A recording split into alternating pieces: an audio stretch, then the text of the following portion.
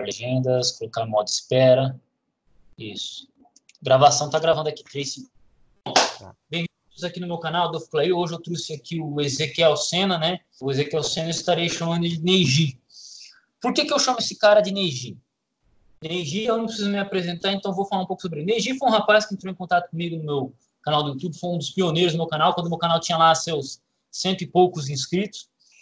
E o Neji, ele me fez uma pergunta sobre eu não lembrava o nome da rua, nem da, da casa dele, né? Do, do, do, da região morava, mas eu lembro muito bem da pergunta que ele fez sobre as questões das regiões textuais. Ele é um garoto jovem, seus 17 anos de idade, tinha seus 17 anos de idade, hoje ele deve ter seus 19, 20 anos de idade. E que o garoto. 21 já, 21 já aí, ó, é. você vê como, como passa rápido, né, e, e aí ele descobri que ele estuda muito a questão do hebraico. Cara, o moleque falou para mim que estuda hebraico desde os 12 anos de idade. E ele estudava hebraico a partir do, de Gessenos. E Gessenos está em inglês. O cara estudava hebraico, inglês, português. Tipo, o cara é bichão. E a área de estudo dele é a mística judaica. É o hebraico, mais a mística judaica e mais siríaco, velho. Não sei de onde que você aprendeu siríaco, mas tudo bem. Fala um pouco aí, Neji, antes da gente começar as perguntas aí. Então, é, eu acho que a gente se conheceu faz uns, uns três anos, mais ou menos. Eu comecei realmente perguntando algumas coisas sobre a, as tradições é, textuais gregas, né, do, do Novo Testamento grego, estava querendo me aprofundar um pouco mais no tema. Um tempo depois eu até te mandei um material é, dos papiros sobre a carta de Judas ou alguma coisa assim. E foi quando a gente foi começando a, a conversar um pouco mais. Depois eu entrei lá no, no grupo, né? E, mas desde sempre é, é, é, eu, eu, me foquei mesmo no, nessas questões que se referem à, à, mística judaica, à língua hebraica em si. É, e eu, eu, não comecei com 12 anos, eu comecei um pouco, um pouco mais tarde a, mesmo ao hebraico. Eu acho que foi ali pelo, pelos 15 anos por aí que eu comecei a me interessar. E com relação ao siríaco, foi por causa do Novo Testamento siríaco. É que eu tenho mais familiaridade com ele do que com é, é, o Novo Testamento grego.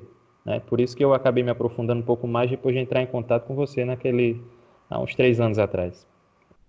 Perfeito, mas mesmo sendo 12 para 15 não tem problema não.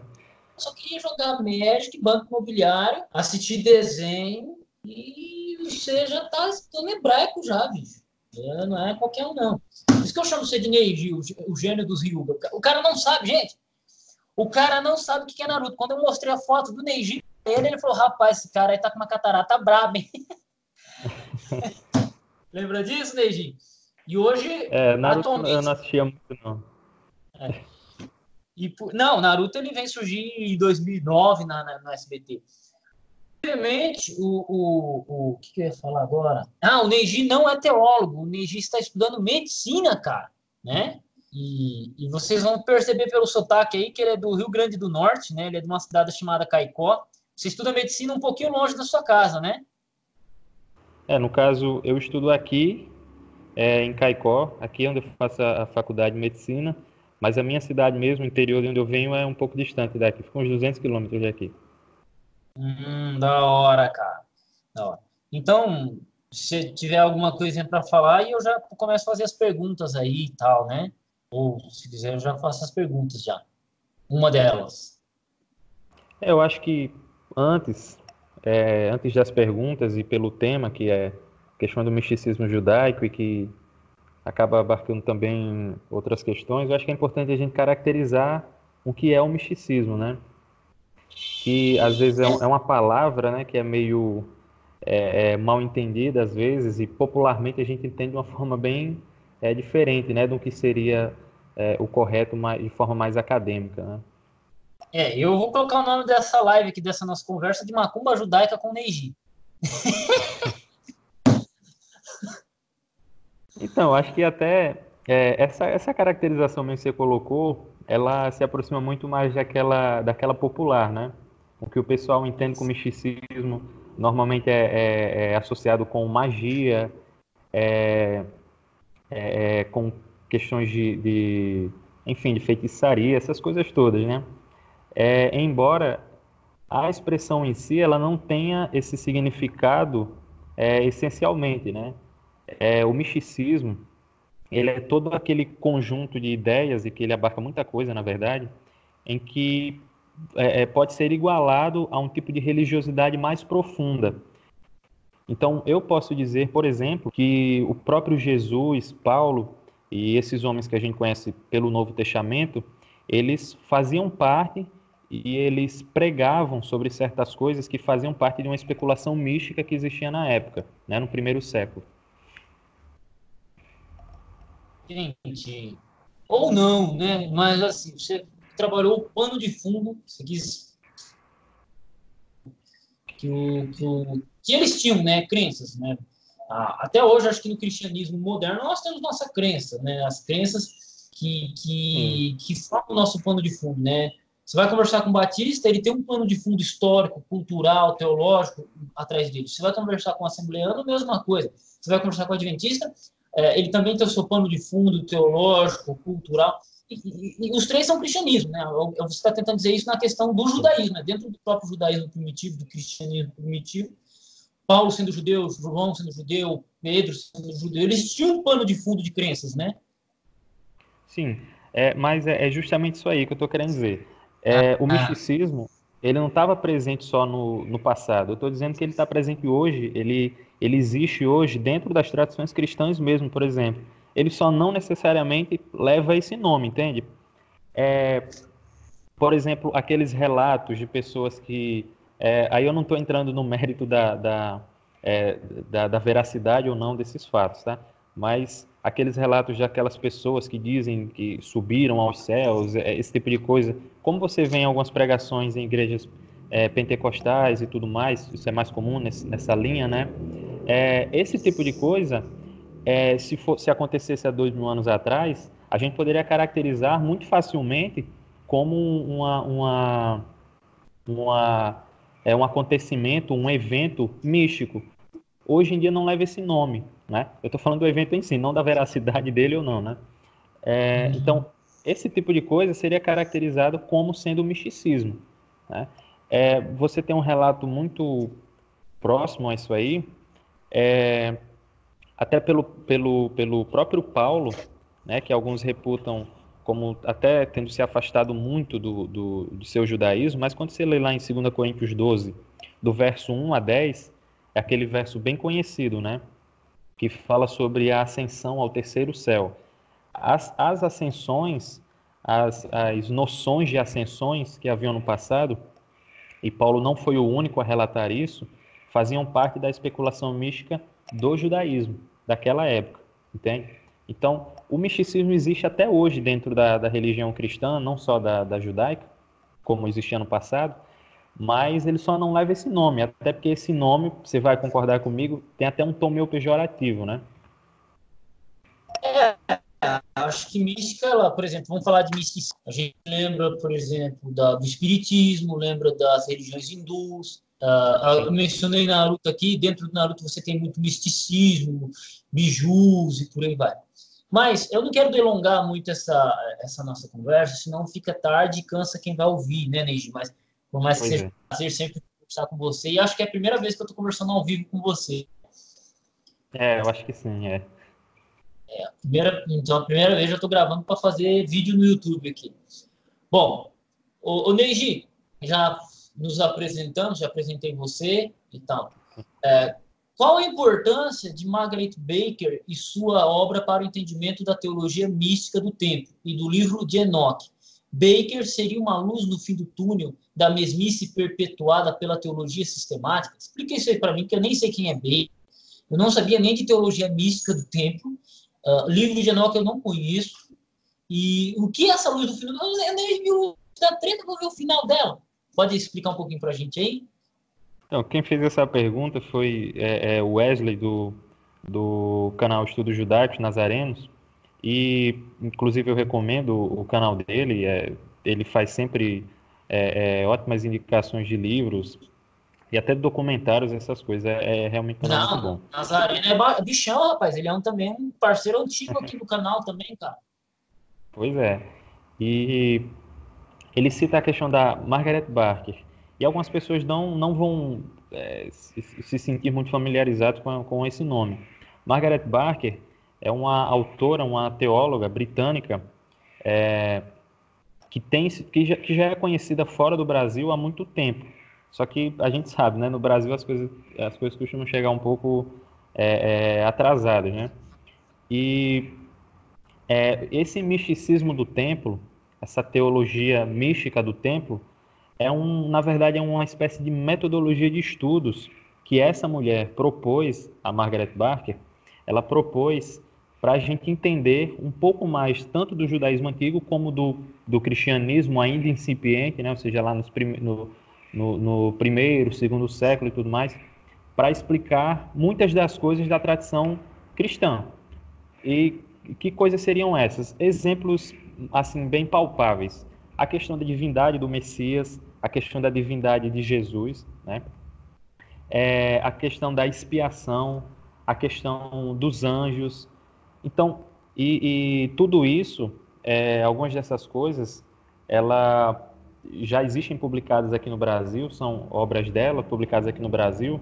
Por enquanto existem só três, que é a Introdução ao Misticismo do Templo, Introdução à Teologia do Templo e Natal, uma história original. São as três obras da Margaret Barker é, no Brasil por enquanto.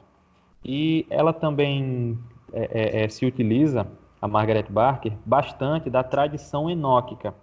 A tradição enóquica, obviamente, não, né, o nome já diz, é embasada, sobretudo no livro de Enoque. E esse livro de Enoque, eu acho que já é mais, conhecido, alguém sempre ouve falar alguma coisa sobre isso aí, era um, uma obra, um documento que no judaísmo antigo viabilizou muitas das ideias que a gente teria depois acerca do Messias, o entendimento que a gente teria de Messias depois, para ser mais é, exato, o entendimento que a gente tem, o entendimento que o Novo Testamento tem, melhor dizendo, acerca de Messias é muito embasado pelo livro de Enoque, porque essa era uma obra conhecida na época e que certamente era utilizada na época é, é, inclusive pelos discípulos e tudo mais, a comunidade é, judaica do primeiro século conhecia essa obra, e a, a Margaret Barker consegue demonstrar os paralelos que existem no Novo Testamento é, é, com relação ao livro de Enoque. Hum, entendi. E aí, ah, então essa, então é mais complicado. Imagina essa questão aí da teologia mística do templo dela. É, eu, eu, eu tô até com um livro aqui, deixa eu pegar aqui. O livro Introdução ao Misticismo do Tempo. Porque é um método de estudo, como eu falei. Né? É, ah. é ela, na, na introdução desse livro, ela diz exatamente o seguinte: o misticismo do templo é a chave para compreender as origens do cristianismo. Muito embora não exista uma única passagem bíblica que responda diretamente à questão: o que seria o misticismo do templo? Então, ela procura é, é, responder a essa questão e a resposta a essa questão, na verdade, dá, dá um embasamento para muitas outras. Por exemplo, é, de onde surgiu a ideia de que Yahvé é, encarnaria em um homem e que este homem seria o Messias? Só esse exemplo. Entende? De onde é que surgiu essa ideia? Será que isso é uma invenção do cristianismo? Será que isso é uma invenção é, é, é dos gentios que depois é, desenvolveriam o cristianismo? A partir desse estudo, a gente tem mais um reforço, tirando outros que já existem, de que não, de que essa era uma ideia que é, é, é central, de alguma forma, da antiga religião hebraica. E essa, esse misticismo do templo é uma referência ao primeiro templo de Jerusalém, ou seja, essas ideias são muito mais antigas do que se pensava até certo tempo, entendeu? No caso, essa ideia, por exemplo, da divindade do Messias é muito mais antiga do que se pensava. É igual aquela passagem que fala que o tem que ficar três dias e três noites morto, né? É, é uma, é, não, você não tem nenhum texto no Antigo Testamento falando isso, né? Na, na Bíblia hebraica, né? Isso é uma coisa de fora do, do, do é uma questão do, do judaísmo, né? Sim. É, é, essa questão da, do corpo e tudo mais que é, ou melhor, do, do, da alma, do espírito, enfim, existe um paralelismo né, dentro da, da é, do texto hebraico com relação a essas expressões, é, mas que ele ficava, após a morte do indivíduo, ele ficava três noites ou pairando, ou dentro do, do, do túmulo, essas coisas. Isso tudo tem uma base dentro do, do texto hebraico. Só que, claro que não é aquela base direta, né? é, existem uns textos em, em, em Oséias, por exemplo, agora não vou lembrar a referência, mas que foi muito utilizado para dar base a uma crença como essa, né? Ou seja, que o cara morria e ficava o espírito, a alma dele, um bom tempo lá, no caso três dias, é, esperando, esperando o corpo, é, é, é, esperando a possibilidade, na verdade, aquele corpo ressuscitar, né? E a alma, no caso, é o que faria isso, entraria nesse tempo. Se a alma não entrasse nesse tempo, não haveria mais ressurreição, ou seja, se não entrasse nesses três dias. Entende? Entendi tudo que eu conheci sobre o assunto, mas não tem problema não. É, a gente sempre está aprendendo aí, sempre está ouvindo. Então essa já responde até Agora, a, sua, a quarta pergunta que foi anotada aqui, né? Porque os judeus acreditavam que o Espírito dava uma... Que uma pessoa estava nela em até três dias. Tem algum estudo judaico com isso mesmo ou é uma falácia? Aí então, é, para ser bem para ser bem objetivo, de fato não é uma falácia. Existia mesmo essa ideia. E uma ideia interessante que eu acabei de lembrar também é que essa coisa do, de um Messias que morre e que ressuscita em três dias, ela também não é uma noção inventada pelo, pelos escritores, pelos evangelistas ou por Paulo, por ninguém não. Eles não inventaram isso. É, um pouco antes de Jesus nascer, acredita-se que ele teria nascido, é até irônico, né, que ele teria nascido em 6 antes de Cristo, por, por causa de um possível erro na contagem. É, um pouco antes dele nascer, foi é, é, produzida em uma pedra uma, uma série de versos, se eu não me engano, cerca de 80 versos, falando sobre a morte de um, de um, de um chamado filho de Davi, nesse texto. Né? Inclusive, esse texto é chamado de Revelação de Gabriel, porque é o anjo Gabriel que está ali é, é, narrando é, é, o texto e tudo mais. E esse filho de Davi, ele morre, e o texto continua dizendo o seguinte, mas após três dias é, eu, Gabriel, te ordeno, viva. Ou seja, aparentemente existia na especulação judaica daquela época a ideia de que o filho de Davi, e o que é o filho de Davi? É um, um, um, uma expressão muito utilizada para se referir àquele Messias, né? o Messias que viria e tudo mais. É, e o anjo Gabriel dizendo para esse filho de Davi, que é um Messias, depois de três dias para ele reviver, porque ele havia, né, obviamente, morrido um pouco antes.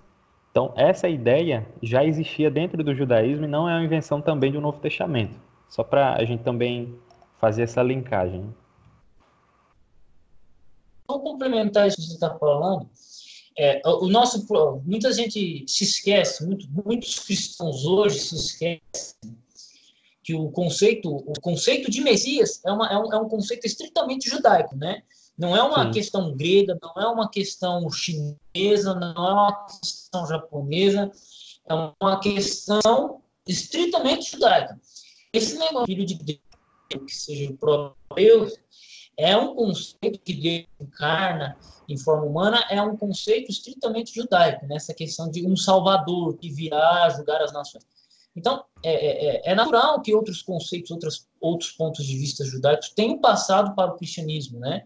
É, e por aí vai. Então, sinceramente, achei muito interessante isso aí. Só para complementar, não tenho o que falar, né? Eu vou sair no braço com o Neji aqui, o gênio dos Hilga. Bom, tem mais uma pergunta que todo mundo que, que vai começar a estudar hebraico ou cultura judaica, todo mundo pergunta. Tem alguma relação os Néfilins e os Binei Elohim de Gênesis 6 e os Anunnakis do deus Anu Sumério? Explica para nós aí, Neji. Então, essa relação existe e ela é, é, conhecida desde a antiguidade. No caso, essa relação entre os Nephilims, entre os Bnei Elohim, lá de Gênesis 6, né? E essa relação existe desde a antiguidade, mas como é que funcionava essa relação? E depois eu vou procurar referenciar quais autores falavam sobre isso tudo mais. É, Acreditava-se que os Bnei Elohim, né, literalmente os filhos de Deus, isso no passado se acreditava que eles eram anjos, literalmente anjos. Né? E esses mesmos anjos teriam tido relações, é, é, relações sexuais com as filhas do, dos homens, que são mulheres mesmo, é, é, é, é não espécie de, de, de, anjos e tudo mais, mas mulheres mesmo, humanas. Né? Então, anjos teriam tido relações com humanas e dessas relações teriam nascido esses Néfilins, que a antiguidade, os autores da antiguidade, entendiam como sendo é, é, homens assim gigantes, eram de fato híbridos, né? Que, que existiam a partir dessas relações que houve no passado. É, nesse sentido, tem até uns comentários interessantes que se faziam sobre isso aí. É, o próprio Flávio Josefo, Flávio Josefo ele comenta, você sabe que a obra dele é muito grande, né? E ele comenta na obra Antiguidades Judaicas, é, eu não sei se você tem aí a, a, aquela, aquele texto dele, tem um texto já é, de Josefo em português, mas no, no primeiro livro da, de Antiguidades Judaicas, no capítulo 3, se eu não estou enganado, ele fala assim de forma muito clara que os filhos de Deus eram anjos e que teriam tido relações com essas mulheres. Né? E dessas mulheres nasceriam esses Néfilins, que seriam nada mais nada menos que os gigantes que eram conhecidos na antiguidade. Inclusive outros autores faziam um paralelo desses gigantes que o texto de, de que o texto bíblico fala com outros gigantes que eram conhecidos em, em mitologias, por exemplo, na mitologia grega, né? até na mitologia é, é, mesopotâmica, que você também tem isso. Então, esses, esses os Nephilim seriam justamente isso, a prole de uma mistura de anjos com mulheres. Era esse o entendimento antigo, né?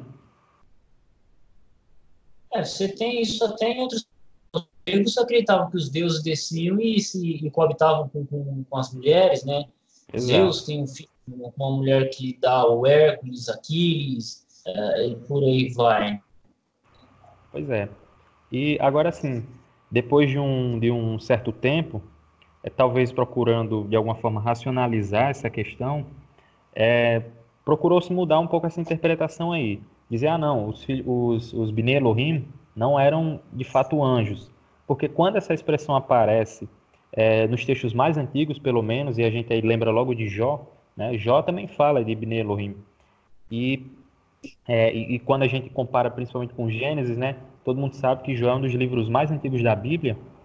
É, quando aparece a expressão lá, é referida de forma muito objetiva e muito clara aos anjos.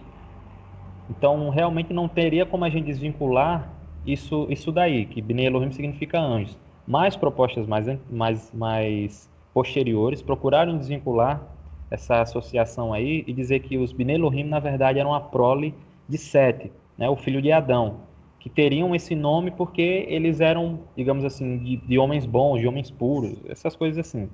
E que as, as filhas dos homens teriam sido a prole é, de Caim, né, e seriam é, é, mulheres normais, assim, de pessoas normais, sem nenhum tipo de, de virtude, essas coisas todas.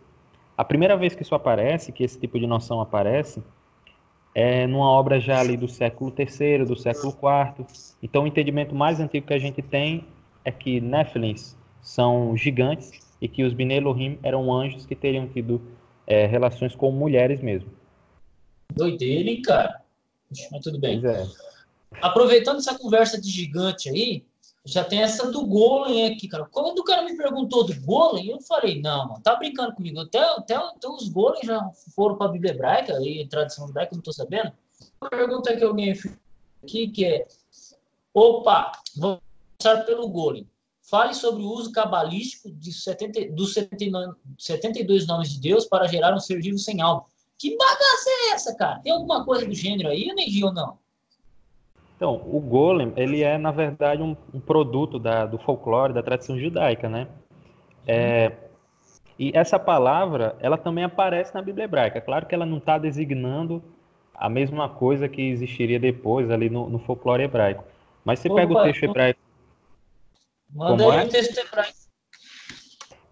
Se você pegar o texto hebraico de Gênesis, de, ou melhor, de Salmos 139, 16 você vai ter a, a raiz dessa palavra, da palavra golem. Eu vou até abrir o texto aqui para dar uma olhada também. É, mas é a única vez em que essa expressão aparece. E ela significa algo assim ainda não formado, como se fosse um feto. Inclusive, é, é, se eu não me engano, é esse o contexto mesmo do Salmo 139, 16. Você está com a, a, a, sua Bíblia hebraica aí? Eu estou abrindo palavra-chave para já ir no dicionário. Já. Vamos ver se vai aparecer aqui. 119, verso 16. 139. 139, né? Verso 16. É. 16. Formadas? Não sei se você achou aí já. Deu certo? Sim, os teus olhos viram o meu corpo ainda informe, e no teu livro todas essas coisas foram escritas, as quais iam sendo dia após dia, dia a dia, formadas, quando eu nem ainda, uh, nem ainda uma delas havia. Então, é, a expressão é justamente essa daí, a, a, um, o que está designando um corpo informe. É, a palavra em hebraico no texto aqui está galmi, que é o que dá origem à palavra golem. Você tem as mesma, a mesma, o mesmo radical, né, que é formado pela letra, pelas letras gimel, lamed e mem, que é o que vai dar origem a golem. E cara, você acredita que eu não sabia disso que golem vem do hebraico, mano? Pois é. Só que aquela lenda, ela surge só depois, né? A lenda do a lenda do Golem e tudo mais. E a mais a mais conhecida, a, a mais a que ficou pelo menos a que é mais conhecida, é a questão do Golem de Praga. É, Praga, né, a, hoje a, a, capital da República Tcheca, é, e que lá teria sido criado por um certo rabino é, eu não sei se eu lembro o nome dele exatamente, mas que ele teria criado esse golem, que era uma criatura que meio que ligava e desligava. Ele teria feito ela bem grande, tudo, tudo mais, assim, meio humanoide, né? E ele, ele mandava comandos direto é, na boca do golem. Ele escrevia alguma coisa e colocava na boca do golem. E o golem fazia aquele comando que havia sido escrito, né? E quando ele, ele é, é, e, e, em cima desse do golem existia a palavra emet, né, que é verdade em hebraico. E quando ele queria, é, é, caso fosse necessário que o golem fosse morto, porque às vezes ele podia sair de controle, né?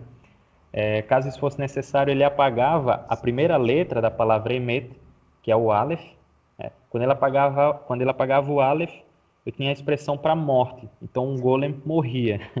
É, é questão do, do, do, da, do folclore judaico, né? Hum, eu abri aqui na Bíblia hebraica, está aqui, Galimi. É.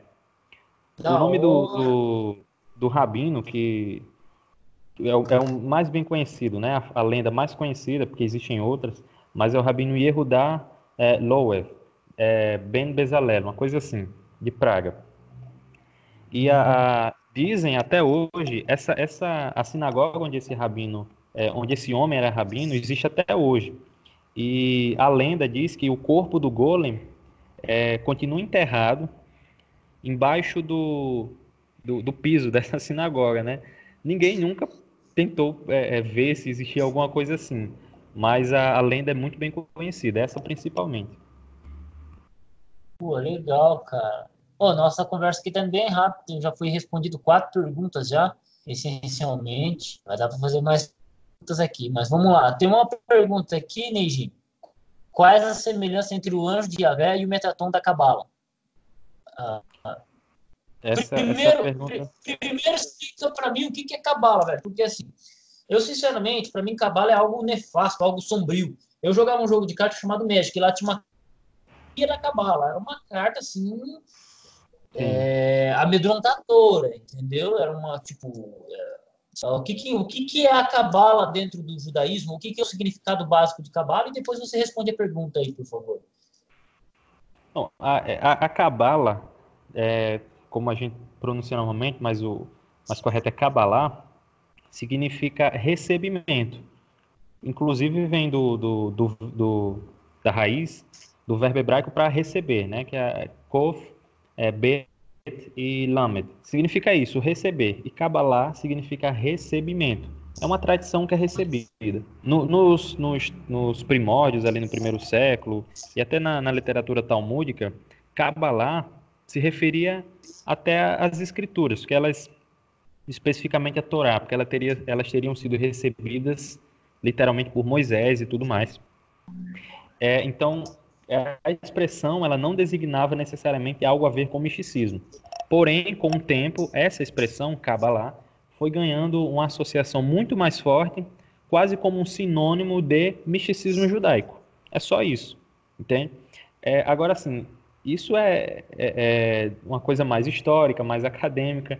Agora, assim, popularmente, as pessoas utilizam essa expressão para falar de, de, de, qualquer coisa. Aí misturam com magia, essas coisas de magia negra e tudo mais. Mas, essencialmente, não tem nada a ver com isso. É a mesma coisa da, da expressão misticismo, que é meio deturpada, ganha um tom meio pejorativo, essas coisas. Entendi. Bom, já fiz as perguntas aqui que você anotou. Bom, eu posso fazer uma pergunta aqui para colocar você, pegar você de calças Neji, ou você vai ficar bravo comigo? Não, agora, é só uma coisa. Deixa eu só responder essa questão do anjo de Javé e Metatron. Ah, eu esqueci. É, então, anjo de Javé ou anjo do Senhor é uma expressão que a gente conhece, né? Já é, é comum na Bíblia e tudo mais, a gente sempre vê essa expressão. E Metatron não, já é, já é, uma, já é totalmente desvinculada do texto hebraico. É, quando, você falou, quando você falou a primeira vez do Metatron para mim, eu lembrei do Megatron do, do, do, do, Transformers. Pois é, até parece, né? parece bastante a, as pronúncias e tudo mais. É, mas Metatron, ele seria um, um a, a, palavra, né? Ela viria de uma raiz que significa guardar, da raiz matara, isso aí já é em, aramaico, né? já não é nem em hebraico. É, e esse anjo, ele, ele seria considerado uma espécie de. É, na verdade, existem várias tradições com relação a ele. Uma o associa muito a Enoque. É que eu vou falar até da mais posterior, depois vou para a mais antiga. Um associa muito ele a Enoque. No caso, o, o, o antepassado de Noé, é, o Enoque mesmo que a gente vê lá na Bíblia. Então, algumas especulações místicas diziam que quando Enoque foi tomado por Deus, que é o que a gente lê no texto hebraico, né, não diz que ele morreu, não diz nada disso, diz quando ele foi tomado por Deus, Deus o teria levado para transformá-lo em Metatron, né, que seria o escriba do céu, literalmente. E Metatron, outras tradições já o associam como uma manifestação é, é até estranho dizer isso, porque não faz muito parte do contexto assim da maioria é, é, não é uma coisa muito comum na terminologia cristã. Deu uma cortada no estranho. Deu uma cortada no estranho. Como é? Uma cortada no estranho. Então, é, eu estava alegando que essa questão do, do, do Metatron é um pouco estranha quando ele é comparado ao Eterno, a Adonai, literalmente você lembra mesmo do tetragrama, mas dizendo que ele é como se fosse um, Adonai menor, entendeu? Como se ele fosse uma espécie de, de manifestação menor do próprio Deus eterno. Deu para entender? Entendi, entendi. Aí, agora sim, existem algumas, algumas, alguns comentários que se faziam na Bíblia que diziam que era uma referência a Metatron, comparando o Metatron, que é o anjo da aliança, o anjo de Javé. É bom lembrar que a, a mística judaica associa os dois, são a mesma coisa, os dois, tá?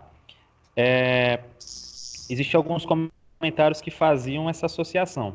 Um comentário interessante está lá em, é, em Êxodo, aí você pode abrir, tanto no hebraico como eu acredito que no português também vai estar do mesmo jeito, que tem uma coisa bem interessante lá no texto, de Êxodo 24, primeiro verso. Se você puder abrir aí, para a gente ler, fica até mais, mais legal. É, na verdade, como aqui tá sem imagem, o pessoal se lascou, né? Eles têm que pegar o texto lá na, na internet. Êxodo 24, verso.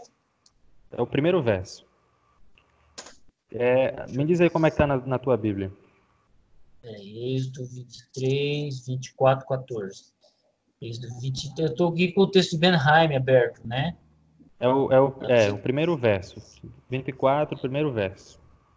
É, o meu hebraico é muito ruim, vou passar a ser aqui. Zero, Não, mas, mas você pode ler, você Amar... pode ler no, no, no, texto português se quiser. Tá. Aqui, mas vamos, tentar aqui no hebraico depois você corrige. Ver, Moshe, Amar, uh, Ale, Alecha, né? Ale, El, uh, Adonai, Atar, Atar, Ve'achon, uh, Nadav, Nadav,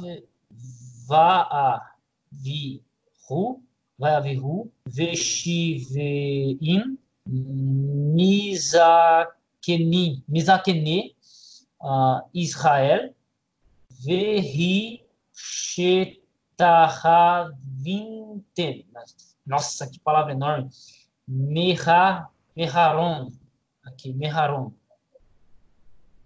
É, Seria isso? Então, Merahok. Merahok. O, o grande segredo desse texto, ele está logo no início.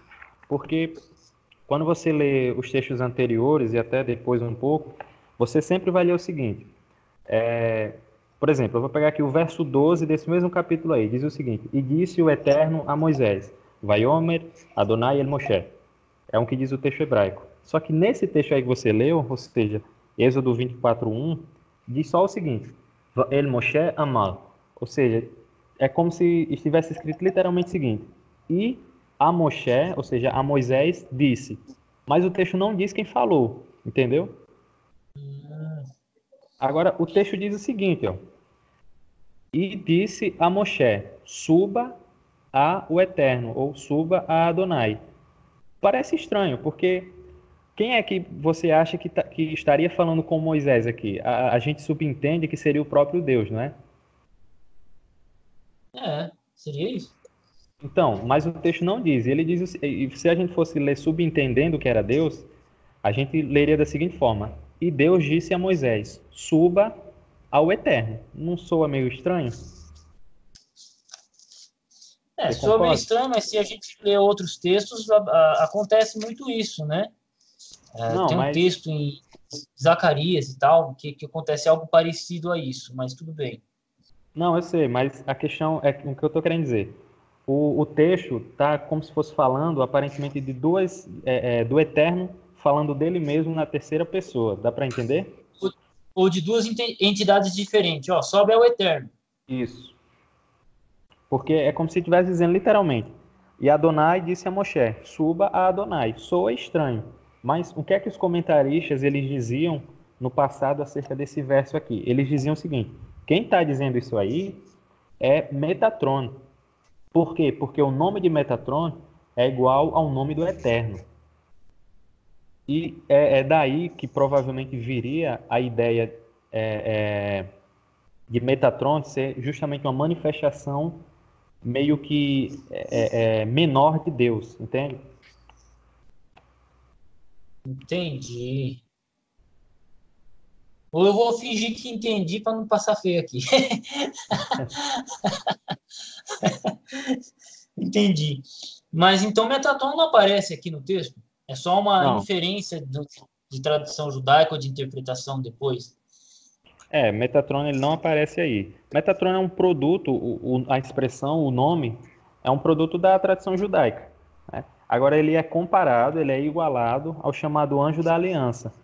E o anjo da aliança, você concorda que no texto hebraico, no texto português mesmo, ele aparece como sendo quase um sinônimo do, de Deus. Não sei se você já viu essas questões, mas é quase a mesma coisa, né? Quando eles aparecem, Zacarias, inclusive. É, anjo do Senhor, Zacarias e o Senhor te aí, um monte de coisa assim. Né? É. Entendi. Tem uma pergunta que eu gostaria de fazer, você vai saber responder muito tranquilamente. A questão de Lilith. Eu sei que Lilith, a única vez em que ela aparece na Bíblia, na Bíblia mesmo, na Bíblia hebraica, é lá em, em, Ezequiel. Não sei se é Ezequiel 46 ou 45, mas ela aparece lá em Ezequiel. Ela aparece como gatos noturnos, né? Algumas traduções trazem gatos noturnos, a Almeida Corrigida Fiel traz como gatos noturnos, a Bíblia de Jerusalém traz como Lilith, que é um demônio que habita no deserto ou habita em lugares áridos, ok? A minha pergunta é, tem, tem gente isso aparece no sobrenatural, aparece em pessoas dizendo que Lilith foi a primeira mulher criada por Deus. É, o que, que, você sabe sobre o assunto? O que, que, você tem a dizer sobre esse assunto aí da, da, da Lilith aí para nós, Negi? Então, é, é, essa figura feminina, de fato, é, quem diz isso não está assim é, errado no sentido de não ter embasamento.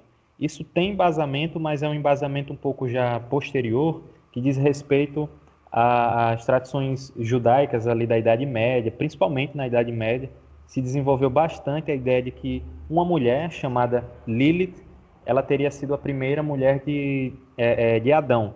Né? E de onde é que tiraram isso? Quando você vê a criação da, da mulher, de Eva no texto hebraico, é, quando Adão vê Eva, aí ele, ele tem aquela, aquela expressão, né?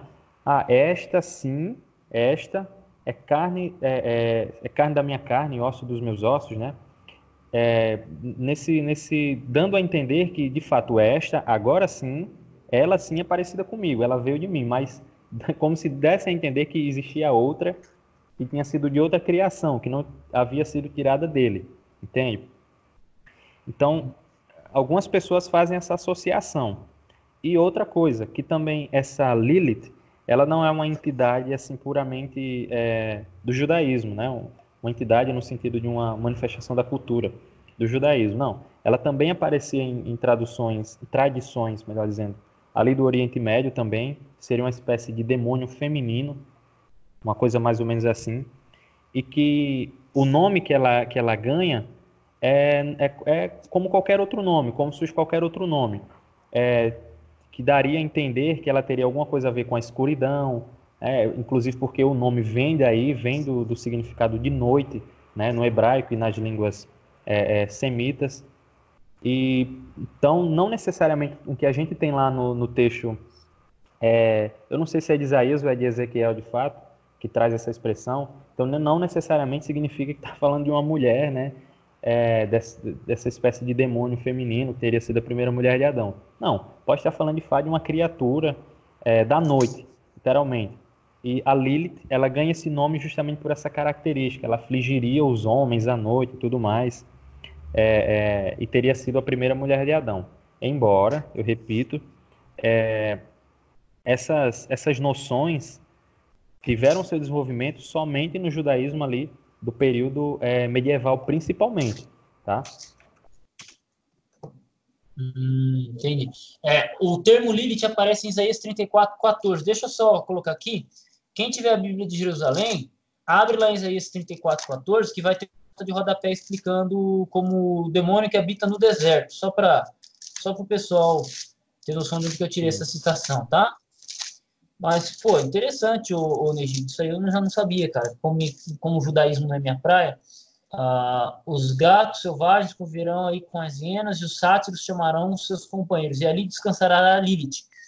Aí Lilith aqui é sátiros ou bodes selvagens, conferir 13 21, mas o paralelo leva a prevenir aqui seres mitológicos. Conferir Levítico 17, Lilith é demônio feminino que frequenta as ruínas, né? Inclusive, é, existiam algumas, é, alguns amuletos é, da época que protegiam justamente contra essa Lilith. Amuletos do, do, do judaísmo.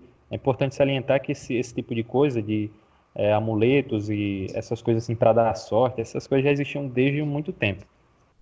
E porque também se acreditava que ela, é, à noite, ela, ela viria e matava crianças, essas coisas assim. Até uma relação entre Lilith e as bruxas da Idade Média existiam também. É como se essas bruxas encarnassem Lilith ou fossem comandadas por ela, entende? Isso faz sentido porque o sobrenatural utiliza muitas vezes no, no, nas primeiras temporadas, né? Lilith, eu tô falando porque eu assisti Sobrenatural algumas temporadas aí antes. Sim, a, aquela a série, né? Isso, a série Sobrenatural. Falei, pô, de onde que eles arrancaram isso? Eles arrancaram da tradição judaica. Bom, Nidi, quanto tempo nós temos? Já estamos aqui há 49 minutos. Você está afim de responder mais duas ou mais algumas, algumas colocações? Ou quer finalizar? Não, se tiver mais alguma questão, mais alguma curiosidade, qualquer coisa que tiver, pode, pode mandar. Ah, eu, eu, eu gostaria de fazer mais duas para deixar aqui a nossa conversa com uma hora. Eu tenho duas. Beleza. E as duas são da sua... sobre o Leviatã e o uhum. Berremute. Leviatã e o Berremute.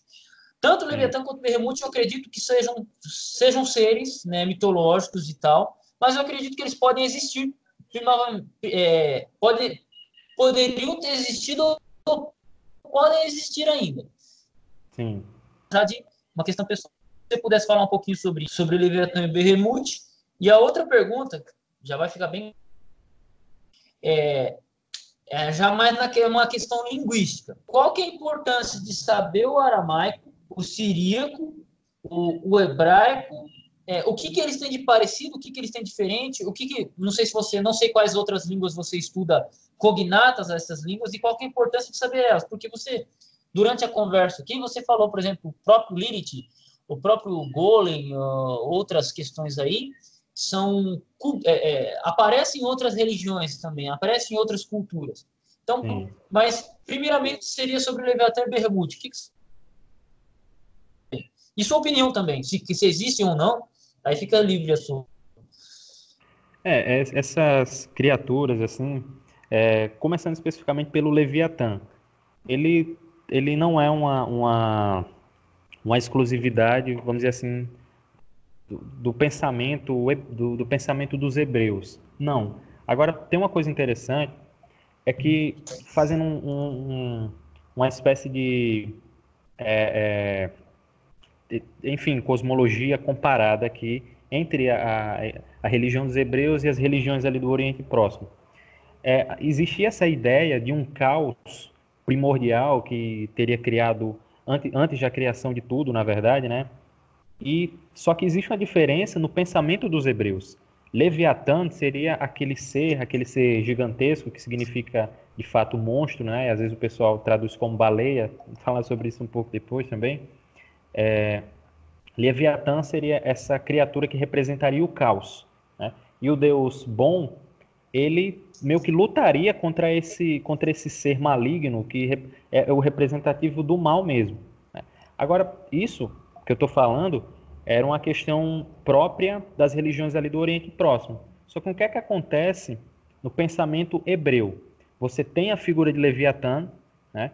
É, também você encontra, no caso lá no livro de Jó, é, especificamente, e só que o Leviatã, dentro do, do entendimento hebraico, ele não é uma figura de, de oponência, não é aquela figura poderosa naquele sentido de se opor ao Deus Criador. Não, ele é uma espécie de, de animal de estimação do Deus Criador, entendeu? Do Deus dos Hebreus.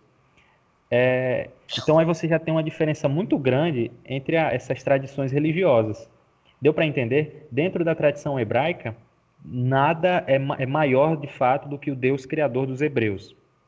Nada, não existe maniqueísmo, não existe algo é, é, antagônico e tão poderoso quanto ele. Então, é, é, o Leviatã também aparece lá na tradição hebraica, só que de uma forma diferente, a compreensão é diferente. É, ele é um animal é, assim colossal. A tradição judaica também vai, vai explorar, obviamente, né, a figura de Leviatã, o que ele seria, como ele seria, que tipo de coisa ele seria, e já fazendo a linkagem também com Behemoth. Né? Behemoth é o nome, esse nome é um plural. Por quê? Porque ele meio que é, é, é amplifica é, todos os animais do campo ele é como se fosse uma, uma, uma, uma, uma junção, mas no sentido assim superlativo. Ele é uma representatividade dos animais do campo, mas o maior deles, o, o mais colossal de todos eles. O Leviatã está muito atrelado ao, ao, ao mar. Inclusive nessas tradições que eu citei do Oriente Próximo, o Leviatã é o mar primordial, o caos, essas coisas todas, que é subjugada pelo Deus bom nessas tradições. Isso não acontece na tradição hebraica. Leviatã é quase um animal de estimação do Deus criador dos hebreus. É, e o Behemoth né, é a representatividade dos animais da terra. E eu vou citar mais um, só que isso aí não aparece é, de forma taxativa assim, no texto hebraico, aparece uma vez lá em Josué, que é a figura do Ziz. Ziz se escreve Zain, Yod, Zain. É uma palavrinha bem pequena. E é como se fosse a representatividade dos animais do céu. É como se fosse um, o, o, o pássaro por excelência. Da mesma forma que o Leviatã é o, o, vamos dizer assim, um animal aquático por excelência. O Behemoth é o animal terrestre por excelência. O Ziz seria o animal é, é, aéreo, né, que voa por excelência. Seria um animal gigante. E só tem uma referência, se eu não me engano, em Josué, que fala sobre uma, uma um, um, um, um local lá, enfim, é uma referência geográfica que é dada com o nome de Ziz. E a tradição judaica diz que esse Ziz é também um animal gigante, tão grande quanto o Behemoth e tão grande quanto o Leviatã.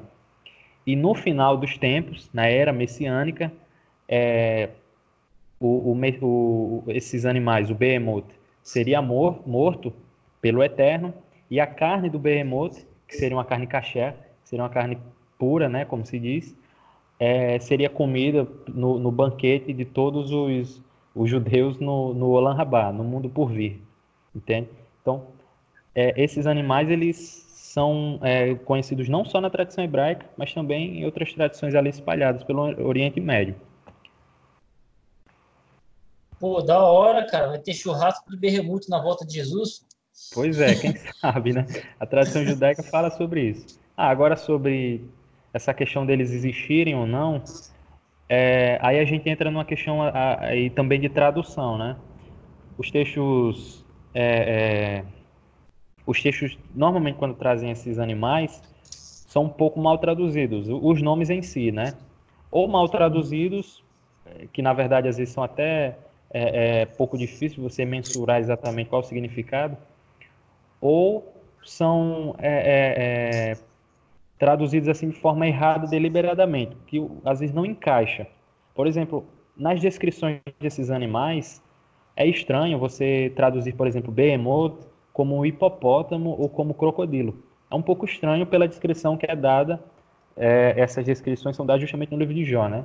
Então, pelo que é falado, é estranho você traduzir, como algumas Bíblias fazem, é, traduzir como hipopótamo ou como crocodilo. Parece que é uma coisa muito maior. Não sei se você vai concordar comigo. Não, é, é, é uma descrição de um ser extremamente poderoso, né? Não tem como, né? Pois Cospe é. fogo, sua cauda move montanhas. É, não tem, não tem nem comparativo, né? Com hipopótamo ou com baleia, né? É, e o, eu já vi algumas, algumas pessoas especulando e tudo mais que isso poderia ser. Claro, isso eu acho que é meio difícil de se chegar a uma resposta sobre isso, mas que seriam é, é, é, espécies é, de dinossauros, essas coisas todas que teriam permanecido é, ainda vivos ali na época de Jó, ou pelo menos do, do escritor do livro de Jó, né, que teria vivido. Então ele conheceria de alguma forma esses animais ou eles estariam vivos, ele conhecia as descrições, não sei, não tem como saber, né? E estaria falando, na verdade, sobre esses seres, e não sobre um hipopótamo, sobre um crocodilo, sobre uma baleia, enfim, sobre essas sobre coisas. Um animal extinto. É, acredita-se que. É, eu já vi, né, na verdade, não, não é que existe um estudo assim muito aprofundado sobre isso. Mas a gente encontra essas coisas aí na internet, e eu já vi esse tipo de especulação, sim, sobre um animal extinto, especificamente dinossauros, essas coisas. Hum, entendi. Não, eu entendo que, por exemplo, o, o, Leviatã parece ser um animal aquático que habita as profundezas do mar, né? Até no, no, no jogo de carta que eu jogava chamado Magic The Gathering, Leviatã era só bichão, tipo, os, os monstros do tipo Leviatã era só bichão. Bichão forte e que habita as águas primevas, né? É, eles sempre vinham da, das águas profundas ali, das águas primeiras. É um negócio tenso, era um bichão pesado de jogar, mas quando entrava na mesa botava o terror, né? E, e o Berremute é um bichão enorme, né? No Magic não tem, eu não vi, não me lembro de ter visto Berremute no Magic, mas é um bichão enorme, não tem como comparar isso com criaturas uh, atuais, né? Mas, como eu disse, eu acredito que talvez o Leviatã exista nas profundezas do mar profundo, né? Do nosso mar atual. Só não sobem agora, né? Mas, sei lá, aí fica a critério de cada um, né? Aí é, é bom lembrar só que, é, principalmente no que se refere ao Leviatã, ele, pelo fato de ele ser muito é, poderoso e ter essa representatividade de algo maligno, ele é, é, quase, às vezes, um sinônimo em algumas tradições, um sinônimo do mal, né? de tudo aquilo que é ruim, do mal personificado, essas coisas. Entendi. É, isso você já tinha explicado, claro, alguns minutos atrás. Mas é legal, cara. Pô, da hora. E tem a outra pergunta que eu falei sobre a questão do hebraico, aramaico, sumério, acadiano, essas línguas cognatas. Uh, qual é a importância de para a compreensão bíblica, por exemplo. Porque, ah, vamos falar de hebraico, você já está falando da Bíblia hebraica, né? Mas falar assim, o aramaico a gente até entende, que tem livros escritos em hebraico, em aramaico, então. Mas é, falar de acadiano, de sumério, o que, que, isso ajuda na compreensão do texto bíblico, Oneji? É, então, pelo hebraico eu acho que não tem nem muito o que falar, né? Porque é essencial o, o entendimento da língua hebraica se você quer se aprofundar nesses assuntos, porque a Bíblia, o que a gente conhece, né, como Antigo Testamento, foi escrito toda em hebraico praticamente. Você tem algumas porções ali em aramaico, mas é, é 99% da Bíblia do Antigo Testamento foi escrita em hebraico. Então, com relação a isso aí, não tem é, é muita discussão. Se você quer aprender mais sobre a Bíblia hebraica, é, você tem que aprender hebraico, né? não tem para onde correr. É, com relação ao aramaico, você se lembraria logo lá da questão de Daniel, que existem algumas porções, ali em Esdras Neemias também existem algumas pequenas porções, né? É, mas não só por isso. A gente também, o, o aramaico, ele também é, é, é, importante pelo fato de que muitas outras tradições, tradições ali mesmo que, que fazem parte tanto do Novo Testamento como ali do período intertestamentário, né, como, como se conhece, é, muitas coisas são feitas nessa língua. Né? Era uma língua, não dá para dizer que era uma língua franca, é, é, tal como seria o grego, por exemplo, em algumas épocas, mas era uma língua de suma importância e que muitas tradições do, do, do judaísmo foram compiladas nessas línguas, né? nas, línguas de, é, é, de vertente aramaica, porque também a gente tem que lembrar da questão dos dialetos, né? que existem algumas pequenas diferenças entre os dialetos. É, então, por exemplo, você lembra do Targum. Né? O que é o Targum? O Targum nada mais é do que a, a a tradução do texto hebraico para o aramaico, só que é uma tradução um pouco diferente. O que é que tem diferente nela? É a questão dos comentários. O Targum ele, ele traduz um texto explicando ele. Então, quando a gente vai ler Isaías 53, por exemplo, onde é que se fala ali necessariamente? A gente sabe, né, que existe essa tradição. Mas onde é que está se falando que ah, o Messias é quem é o servo sofredor e tal? Não existe isso no texto no texto hebraico, né? Mas está subentendido. Está tão subentendido que quando Targum vai traduzir isso, um pouco antes ele já alega que o servo sofredor é o Messias. Então a gente já entende, ah, olha só, a tradição judaica é, compilou isso aqui no Targum, né, dizendo que esse servo sofredor é o Messias, isso bem antes de Jesus. Né? Então é, é, também vem daí a questão da necessidade do, do aramaico. A questão do siríaco, é mais uma questão é, é, no, no, do meu caso mesmo, pessoal, por causa também do, do, do Novo Testamento em siríaco, né, que é a famosa Peshita.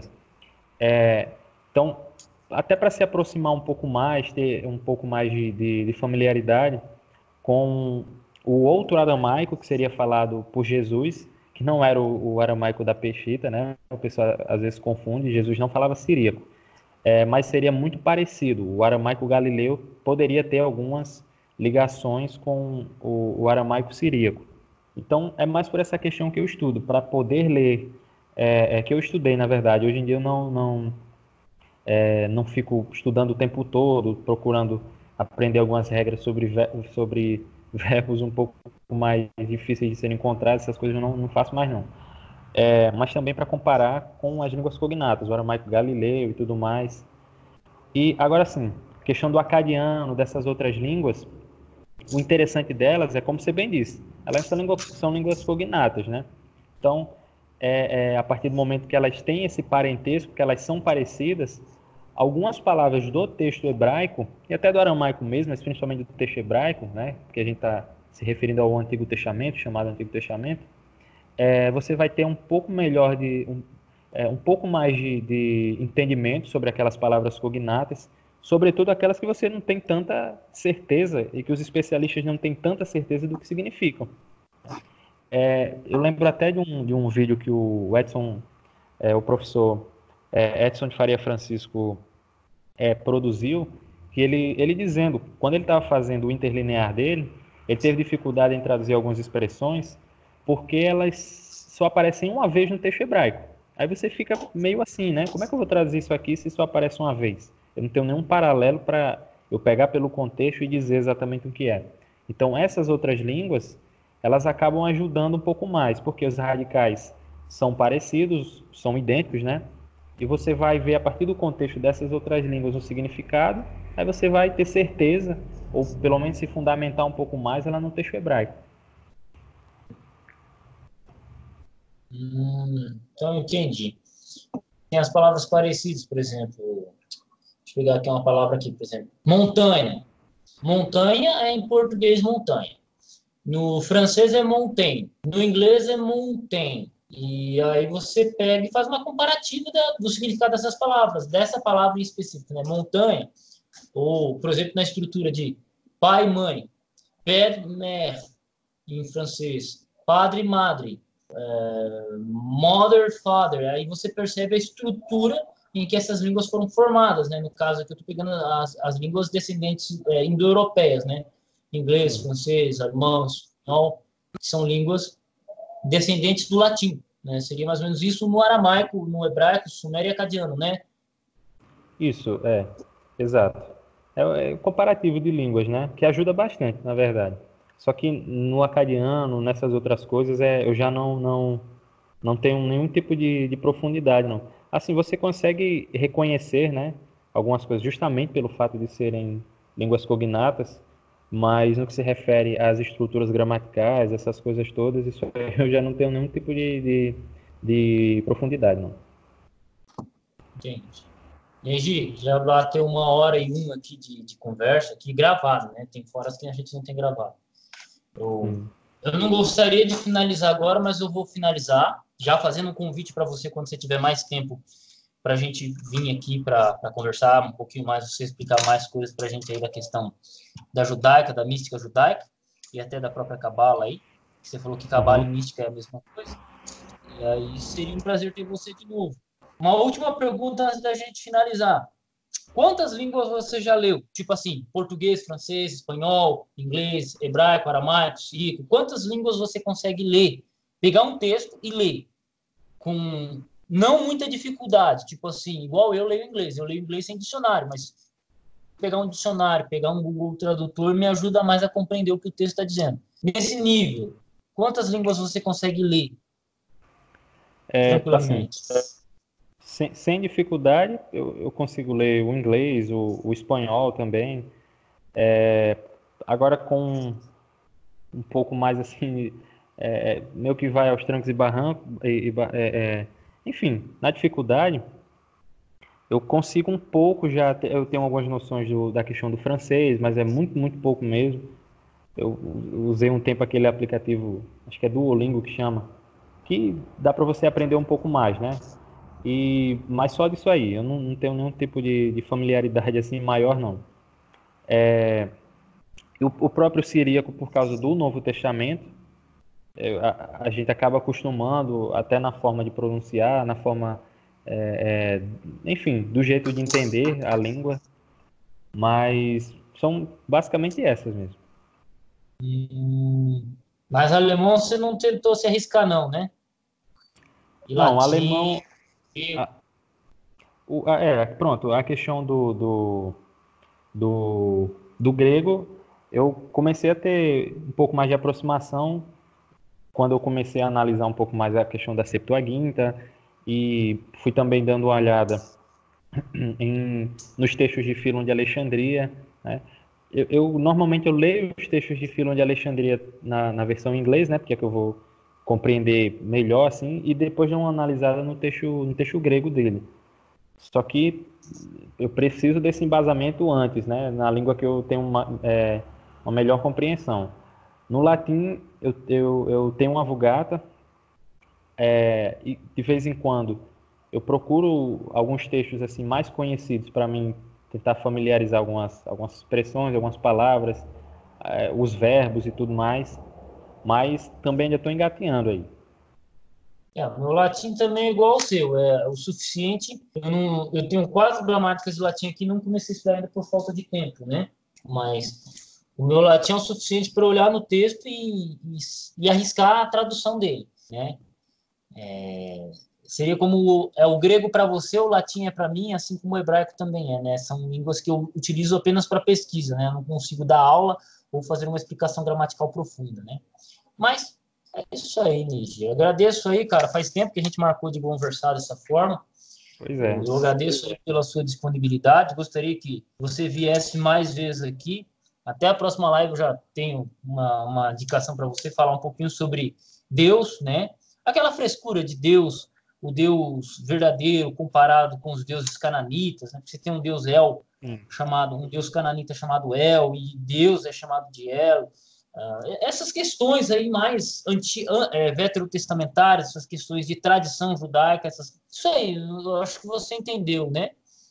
Sim, é, se eu puder também propor alguma, algum tema, assim, eu acho que é um tema que muita gente pergunta, então, se o pessoal quiser, pode até comentar alguma coisa assim, mas é com referência a essas questões assim de natureza de Deus, de trindade, de é, é, questões cristológicas, essas coisas, o pessoal tem muita dúvida.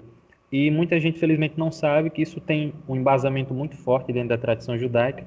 Então, caso as pessoas queiram também esse tema, eu acho que, que, que pode ser interessante, assim, junto com esse que você citou, que é bem interessante também para a questão do Antigo Testamento.